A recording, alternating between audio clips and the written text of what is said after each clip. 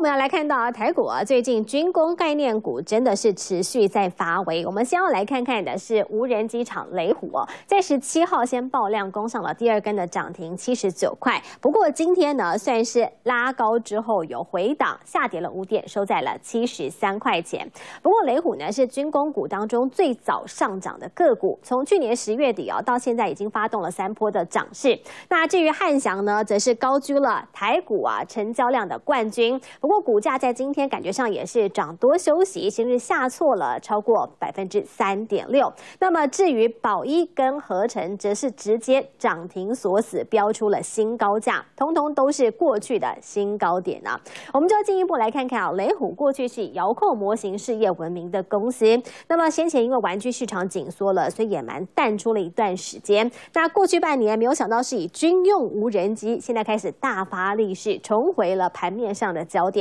股价已经飙涨了近两倍，现在也是非常热门的军工概念股。那法人也认为，除非雷虎出现了爆量长黑，或者是打入跌停这种异常的现象，否则像它这一档的军工股，其实题材还是有机会持续发烧的。那至于汉翔的部分呢，也因为获得了奇异的十年大单，补血三百五十亿，也为汉翔挹注了非常稳定而且可观的营收。这合约的效期啊，会一路到二零三五年呢。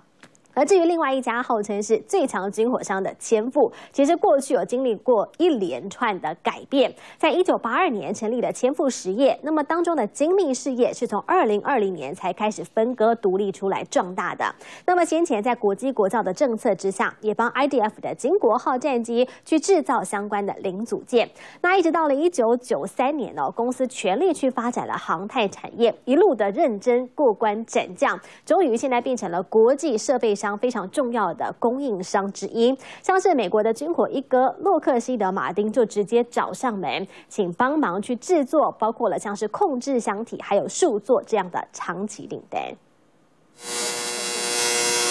戴着面罩，师傅们忙着焊接零组件，因为体积庞大，还需要靠吊具来移动。这个是简洗的脱脂槽，那简单讲就是像我们类似洗肥皂一样，因为我们在加工的过程中。会用一些切削液，那我们就是用这个碱性脱脂槽，先把这些残留的切削清洗干净。清洗后分门别类，铝合金设备送到无尘室控制温湿度，与不锈钢区隔开来。位在中科后里园区的千富精密厂，从制鞋业起家，后来转型航太业，在跨足生产半导体显示器设备，如今更成为美国军火一哥洛马爱国者飞弹控制箱的最大供应商。来到厂区，每个访客都要在手机镜头上贴上像这样的一个。贴纸，而每个员工呢都要把手机放到像这样的一个置物箱里面，避免资讯外漏。置物架被戏称为“养鸡场”，每个员工都有专属手机格子，因为和洛马签署保密协定，场内戒备森严。爱国者飞弹产线更是用屏风相隔，不能公开。这些国际厂商到台湾来找供应链的时候，他会先从这些所谓我们叫做呃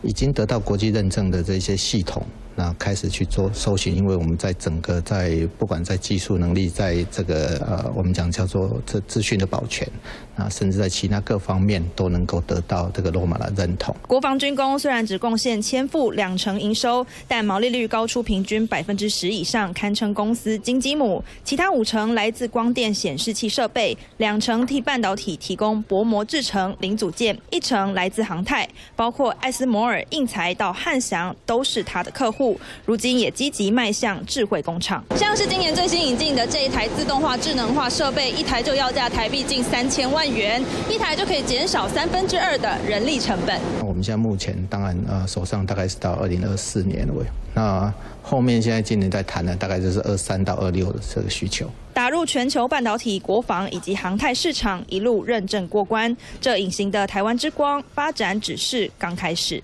三立讯孙宽李梦山台中。